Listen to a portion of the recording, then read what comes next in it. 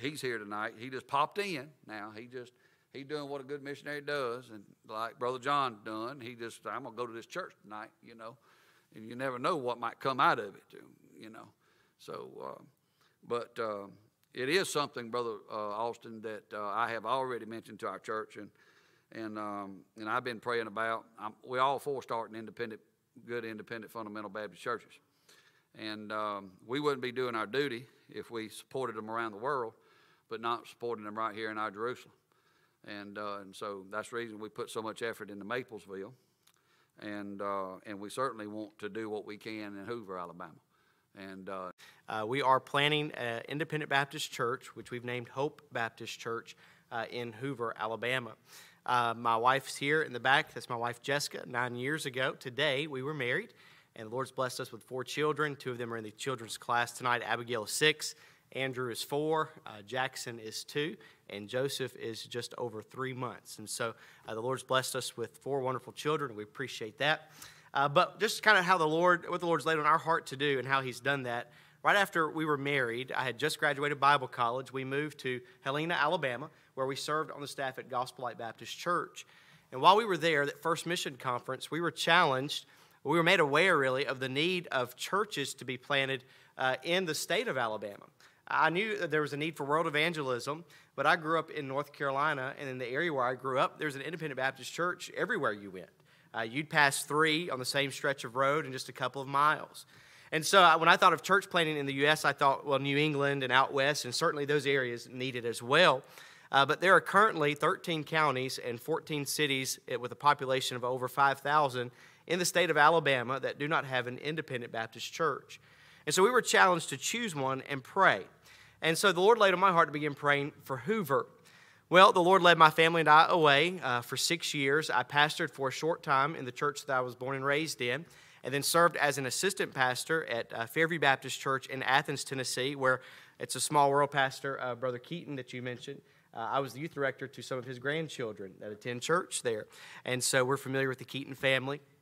But while we were there at Fairview, we found out that Gospel Light had started a Bible study in Hoover and we're praying that God would send someone to take that and turn it into a church plant. And so we began to pray again. Lord, that's wonderful. We remember praying for Hoover before. Send someone, and we'll be excited to hear what you do there.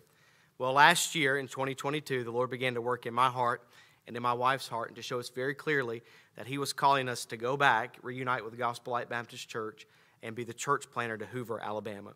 Uh, just a little bit of background on what Hoover is. It has a population now of over 92,000 people It's 15 minutes outside of Birmingham, and it does not have an independent Baptist church. There are two cities that are, touch, uh, that are uh, close to Hoover Vestavia Hills, which borders Hoover, and then Homewood, which is closer to Birmingham. Collectively, those two cities have over 60,000 people, and neither one of them have an independent Baptist church either.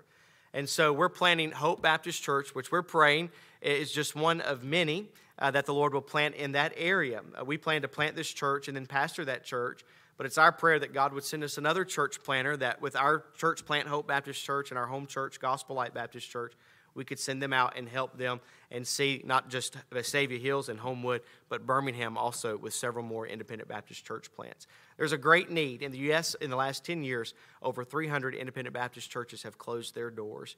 And so I ask if you would, would you pray for Hoover? Pray for us, the Brown family. Uh, we School just let out, so we're now on full time deputation. Our goal is by the end of next June to have our support raised, and we've scheduled the last Sunday in September as the grand opening Sunday for Hope Baptist Church.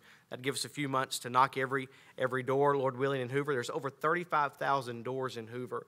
We want to see every door knocked by that point in time and send something uh, to every home through the mail and do some online things as well to get the word out and see Hoover claimed for the Lord Jesus Christ. So if you would pray uh, for the Browns as they seek to take the hope of Christ to the people in Hoover.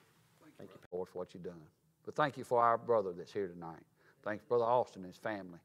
I pray now that you just uh, supply their needs and, Lord, just open up doors for them. And I pray, Lord, even before they go to Hoover, that, Lord, you just open up doors there. That, Lord, I know you, Lord, where, where you call us, Lord, you're already there. You're there already. And, Lord, I know you're already there in Hoover. You're just waiting. And, Father, I pray that, Lord, you just bless them and guide them and, and give them everything they need, Lord, as they start that church there. Help us, Lord, to be able to help them too, I pray. And we ask these things in Jesus' name. Amen. God bless you.